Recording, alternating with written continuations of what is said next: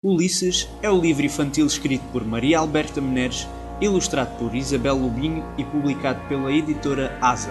Este livro inspira-se na obra épica Odisseia do poeta grego Homero. A escritora Maria Alberta Menezes tem dedicado grande parte da sua obra à literatura infantil e juvenil.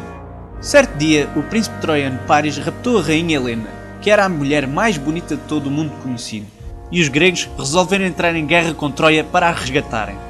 Ulisses, que vivia na ilha de Ítaca, foi forçado a ir para a guerra contra os troianos. A luta demorou 10 anos até que Ulisses teve uma ideia excelente de construir um cavalo de madeira de forma a invadir Troia. O plano correu bem e depois de resgatarem Helena, zarparam rumo a Ítaca. No regresso a casa, Ulisses e os seus marinheiros depararam-se com diversos obstáculos durante a sua jornada. Foram forçados a enfrentar um ciclope chamado Polifemo.